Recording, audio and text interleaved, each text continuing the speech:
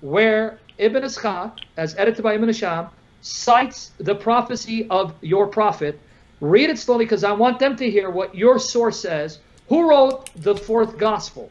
Was it some anonymous writer or is it the Gospel of John? Please read it slowly out loud. It's right there near the end. You'll see it.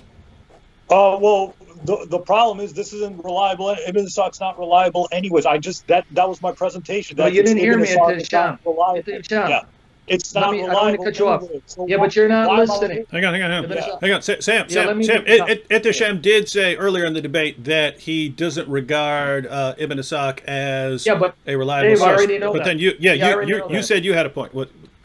Yeah, but the point was he didn't hear me. I'm reciting Ibn Hisham. If you guys remember, I know what he said. I want both of you to hear, and I say this because again, you're the moderator. Did you guys hear him say we don't go with Ibn Ishaq, but we go with Ibn Hisham? You mentioned Ibn Hisham. Ibn I Hisham.